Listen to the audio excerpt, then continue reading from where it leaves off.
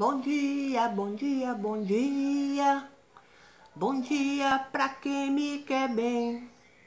Bom dia, bom dia, bom dia. É, hoje eu amanheci inspirada. Hoje eu vou. Fiz até um chimarrão que raramente eu faço para economizar erva. Mas o que me traz aqui não é meu chimarrão, não é meu artesanato. É... O que me traz aqui são as pessoas que entram no canal, os canais dos outros para xingar. Eu não vou aqui dizer citar nomes porque eu não pedi licença para isso e agora aqui tudo que tu fala tu tem que pedir licença, tu é processado. Fazem coisa muito pior e não são processados, mas se tu citar o nome das pessoas que de repente não, não quer que cite, tu ganha strike, ganha não sei o que, se bem que eu não ganho strike, eu não sou monetizada, eu tenho poucos inscritos, mas os que eu tenho são maravilhosos. Eu vim para falar isso, que as pessoas criam canais. Eu acho que pela forma que estão agindo, se alcoolizam antes de fazer um vídeo para criar coragem. Mas não criam coragem para fazer uma coisa boa. Criam coragem para ofensa, gente. Não está certo isso. A gente já está vivendo uma situação pavorosa. Até eu, o coronga, se apossou desse corpinho, esse corpinho magro aqui da vovó. Então é uma situação difícil que o país está passando, que a gente está passando, é todo mundo dentro de casa, recluso. E daí vem uma pessoa, abre um vídeo para fazer um, um comentário no vídeo da outra pessoa, no canal da outra pessoa, xingando a outra pessoa. Isso é, é certo? Olha, se isso é certo, eu prefiro andar errada. Não gosto disso. Eu fico sempre na minha.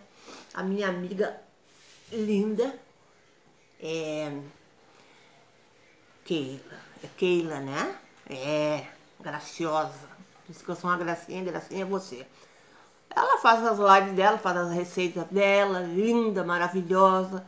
Eu fico aqui fazendo minhas coisinhas para vender na feira. Então eu não tenho tempo de ir para os canais xingar as pessoas. Se ocupem, pelo amor de Deus. Se ocupem. Vão fazer alguma coisa pela vida.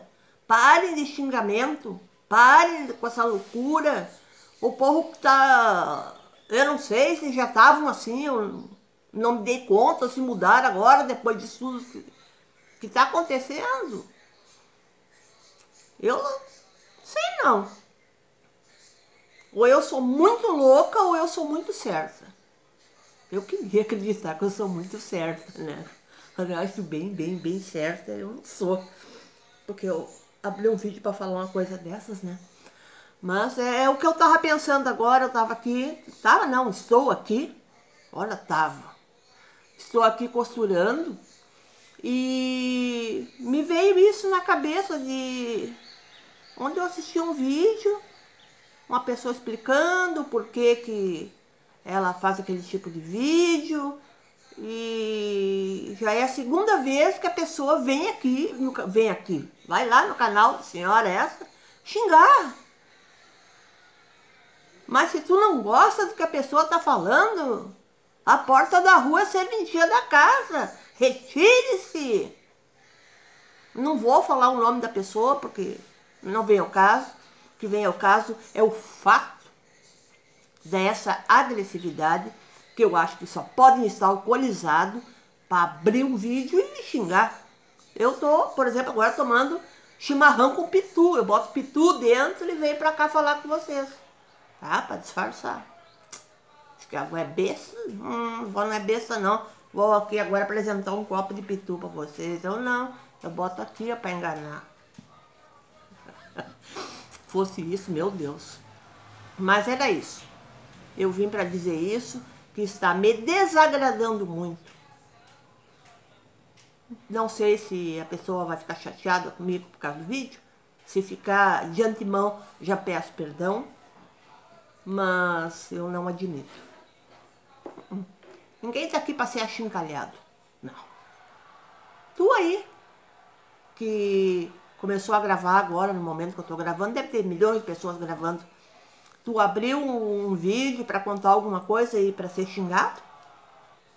Ou tu re resolveu fazer um vídeo para as pessoas ah, que bacana, que legal. E se não gostou, sai fora, vai procurar outro, tem milhões. Mas então era isso. Hoje, vovó indignada com falatório. Falatório e, olha, as pessoas não cansam de passar vergonha. Parece que, que vergonha é creme. Ficam passando toda hora na cara. Dá vontade de perguntar se o quer que passe a vergonha no débito ou no crédito. Porque está demais, gente, não dá. Ah, vamos tomar atento, pelo amor de Nossa Senhora. Tá? Ó, beijão da vovó. E vovó vai continuar costurando, porque a costura me rende muito mais do que fazer fofoca da vida alheia. Tem um reggae que diz que coisa feia, que coisa feia é falar mal da vida alheia. Eu acho que isso é verdade. Fiquem com Deus.